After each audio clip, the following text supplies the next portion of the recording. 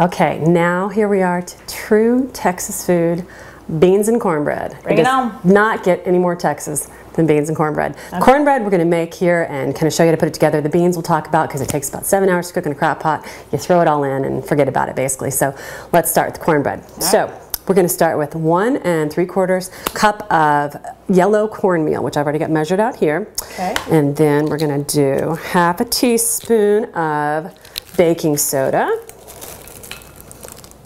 All right. Boom. And then teaspoon of salt. This is another toughie I see. This is another toughie. Yeah, Okay. I'm measuring a little bit here since it is Alright. kind of. There we go. We're gonna do a cup of grated cheddar cheese. Love it. Nothing says loving like cheddar. Yeah. Or cheddar. Cheddar. As one of our Gala girls likes to say. Cheddar cheese. All right, and then we are gonna do a teaspoon of baking soda.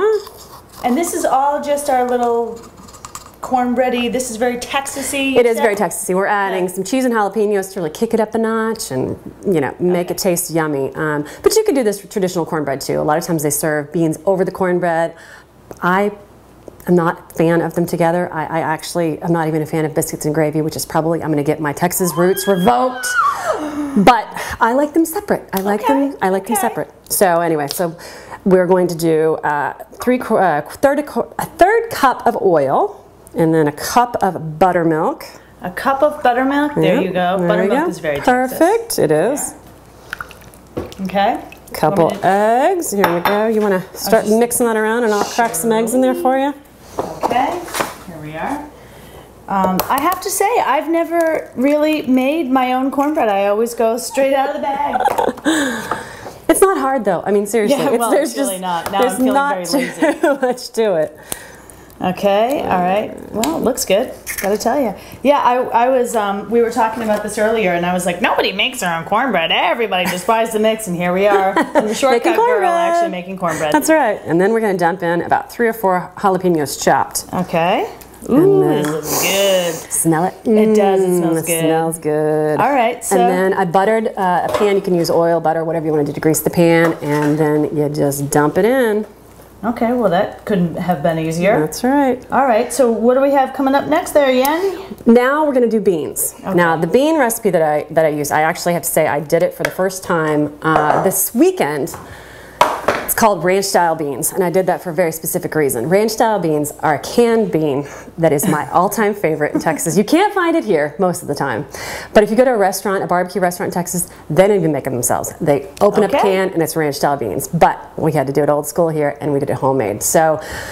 Basically, you take uh, a package of beans, 16 ounce thing of beans, uh, put it in, rinse them, put it in a crock pot, and put, uh, cover it with water and put two tablespoons of either um, apple cider vinegar or lemon juice and soak it overnight. Okay. Next morning, rinse off the beans, dump them back in the crock pot. In a skillet, um, saute an onion for about 10 minutes, medium sized onion.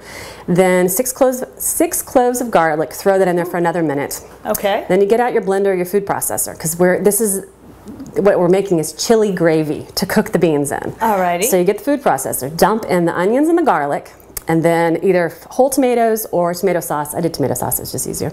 It's what I had on hand. There you go. And then a laundry list of, of spices: cumin, oregano, ancho chili powder, paprika, um, beef broth. You can put it all Yeah. together, dump it in. Seven hours. That's it. I was gonna say all of this is That's available it. on the website. It's so easy. Yeah, all the measurements are. It's really easy.